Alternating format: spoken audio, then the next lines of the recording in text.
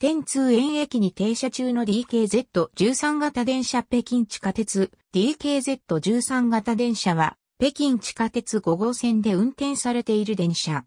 2007年10月7日から運営されています。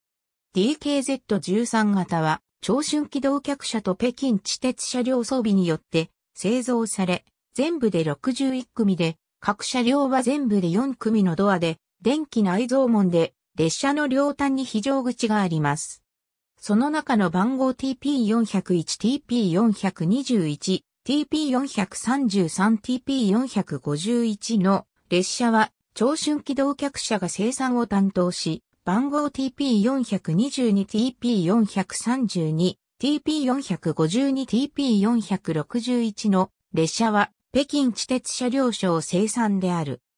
車両の構造設計には衝突エネルギー吸収エリアが設けられており、列車は時速 25km の速度で他の静止列車と衝突した場合、運転手と乗客が障害を受けず、車体の損傷が最小限になることが保証されています。端部の構造はエネルギー吸収機能を備えています。衝突事故が発生すると、台車端部の構造は衝突によって発生したフックを超えたエネルギーを比較的低いレベルに吸収することができ、乗客が負傷する危険を最小限に抑えることができます。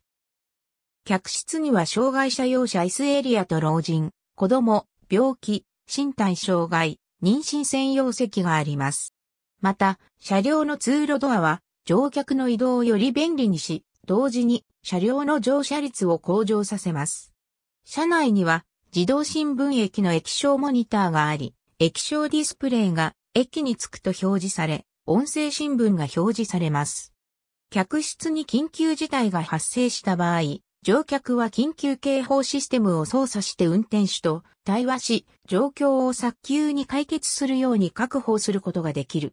車内には液晶テレビのリアルタイム放送システムがあり、情報を最初に乗客に届けます。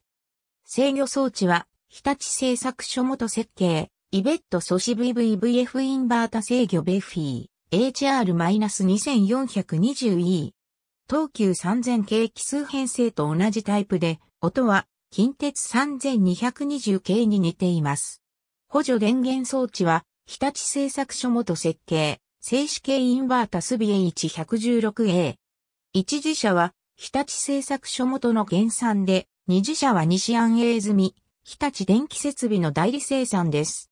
両端の先頭車が制御車、中間車3両が電動車、1両が付随車からなる MT-3M3T の6両編成である。